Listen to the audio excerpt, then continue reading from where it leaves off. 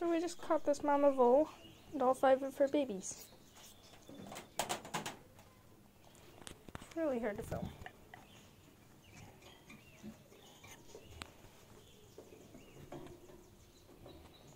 But just running around, trying to find a way out, grabbing the babies and trying to climb with them.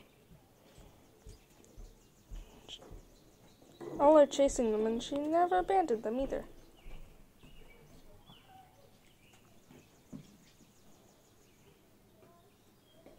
Mama. Not really.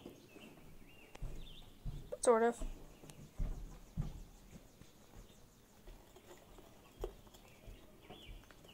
At least your chances are, of survival are around 100% in here.